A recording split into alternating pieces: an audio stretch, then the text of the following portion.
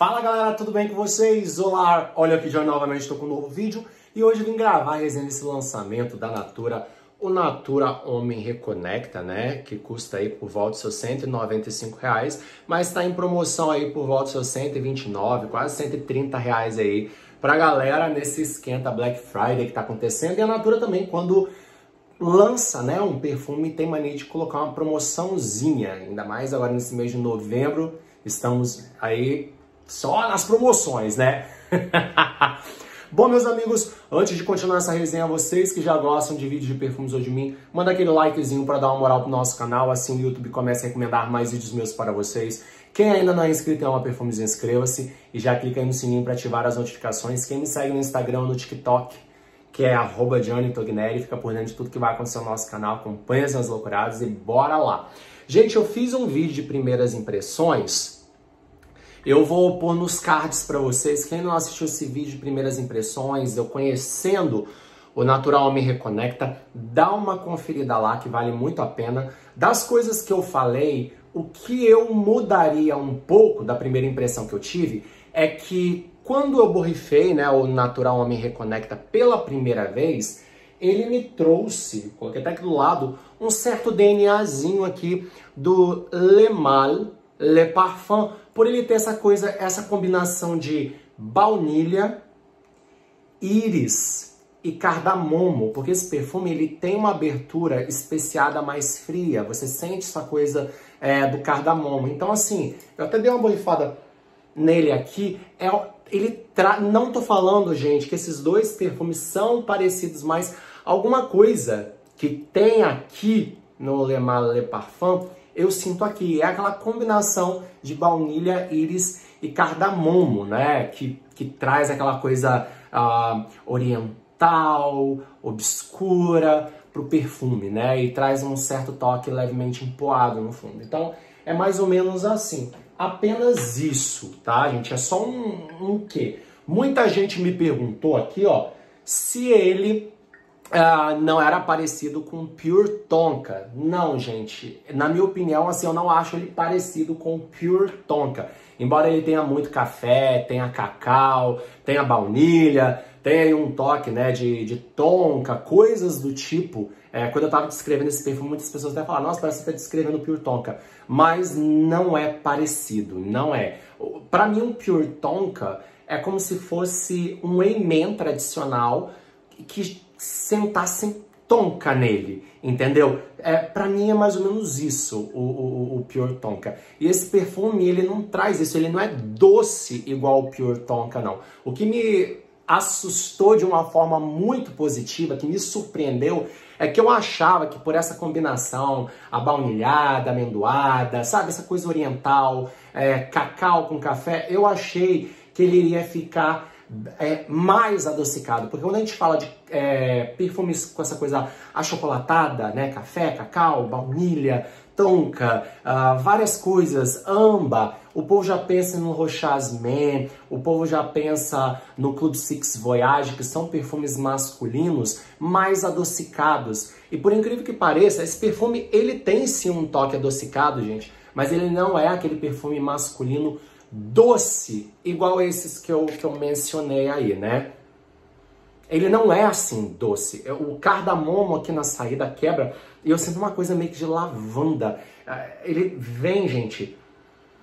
Eu gosto, eu gosto disso, porque o café que tem aqui, esse café arábica, já quebra a doçura já no começo. O cardamomo também quebra esse doçor também. Esse perfume, gente. Ai, ele, o cacau cacau dele é tão engraçado que é um cacau bem amargo. É um cacau bem amargo. Aí mistura com a baunilha adocicada, vem essa coisa dessas amêndoas tostadas, essa coisa, ah, sabe, da cumarina aqui dentro, sabe, cumaru, favatonca, coisa do tipo. Vai tendo uma combinação onde ele mistura um doce com amargo. É um perfume que se torna até eu diria levemente agridoce. Ele tem um toque adocicado e amargo. Ele é um perfume amadeirado, aqui, como eu até falei de cedro, né, que a Natura gosta de colocar essas coisas assim, e ele tem uma cremosidade e uma quintura uh, do sândalo. O sândalo é aquela madeira mais quente, mais cremosa, esse perfume ele traz isso. Ele é um perfume, galera, que eu notei conforme fui usando, que ele é praticamente quase que linear. Ele é quase que o mesmo do começo ao final, tá? A diferença que eu noto é que no começo ele abre com um toque especiado. Você sente uma coisa especiada no começo.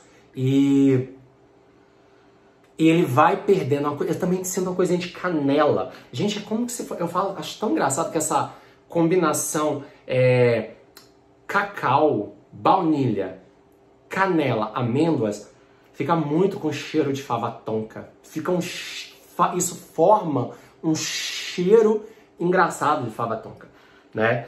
E o povo perguntou Natura Homem Dom, também não acho ele. Gente, ele é o que eu falei para vocês. Eu não acho ele parecido, parecido com nenhum perfume. Pode ser que em determinada parte da evolução esse perfume venha e traga à sua memória algum perfume, alguma coisinha, mas não vai ser aquela coisa, nossa, esse perfume é muito parecido com tal coisa, não. Não com coisas que eu tenho aqui.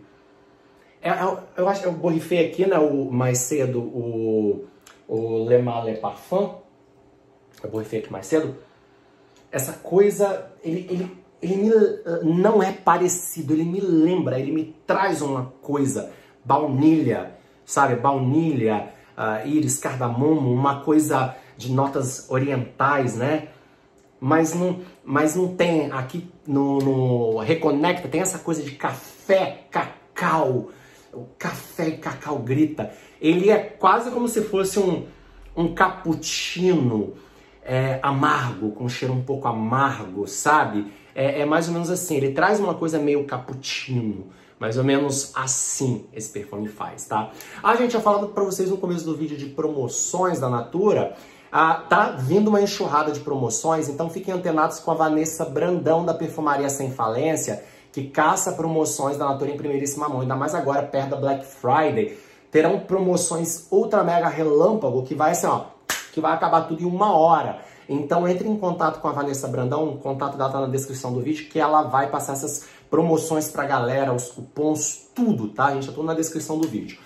Bora, bora falar aqui para vocês da fixação. Gente, a fixação desse perfume eu gostei muito. Ele é um perfume que fixou mais de 9 horas na minha pele. Eu acho que ele tá super justificado, esse eau de parfum. Uh, não tenho que reclamar.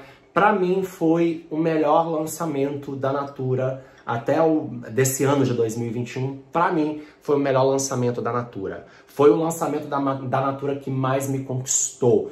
E aproveitando, né, que estou aproveitando que tá fazendo um tempinho frio agora no sul, sudeste aí, né? E aproveitando com força total para usá-lo, essa época chuvosa que tá.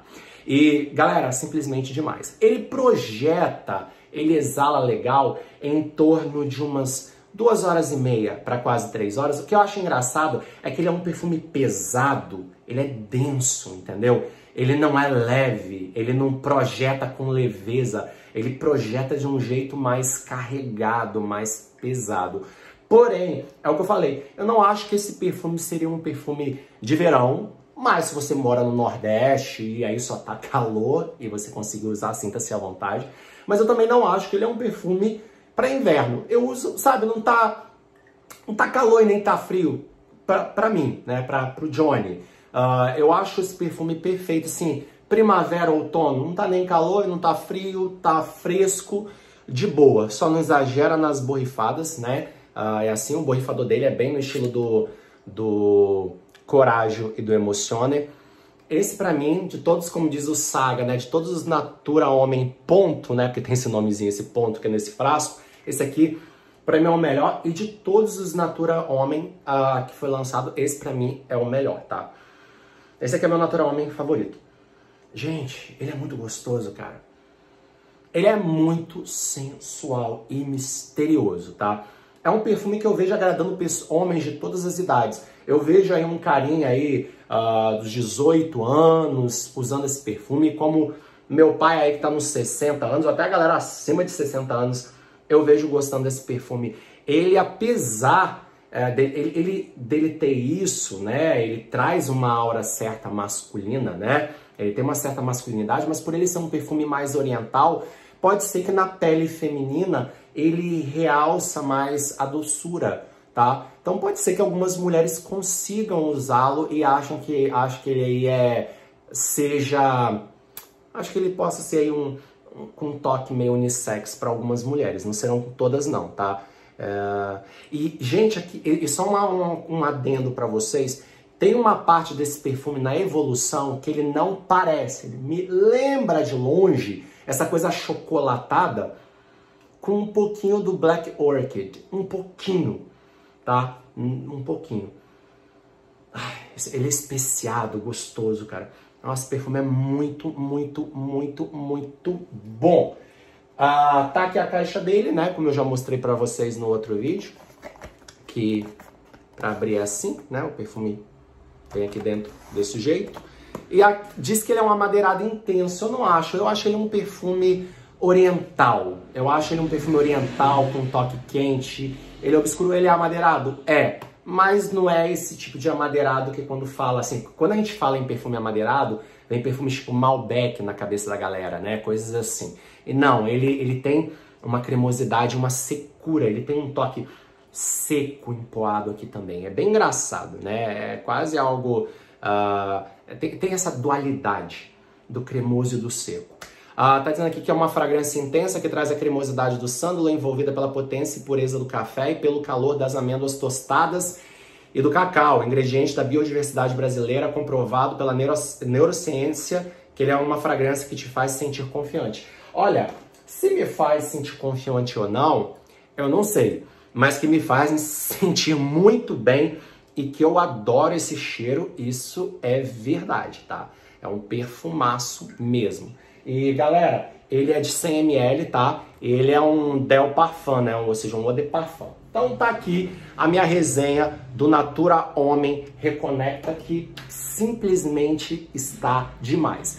Bom, galera, não vai agora não, assista aí uns vídeos, maratona uns vídeos meus aí. Quem gostou desse vídeo, dê um like, compartilhe, um forte abraço a todos e vejo vocês no próximo vídeo. Até mais, tchau, tchau, galera.